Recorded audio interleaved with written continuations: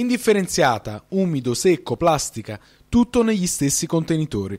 Malgrado gli sforzi del comune, la raccolta differenziata a Napoli stenta a decollare.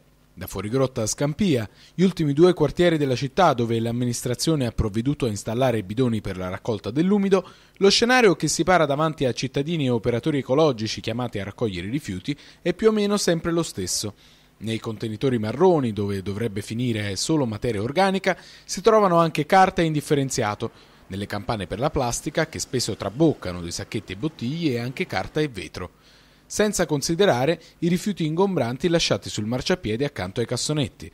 Di questo passo, l'aumento della percentuale di differenziata in città resta una chimera. La gente non collabora perché non c'è, informazione da parte del, del comune, non c'è, nessuna diciamo, eh, collaborazione da parte del comune per, eh, per affiancare la gente. Eh, l'umido stanno incominciando a capire qualche cosa, però è ancora dura.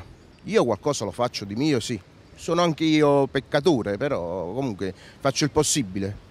Ho, ho creato da quando è stata istituita la raccolta differenziata quattro, quattro cose.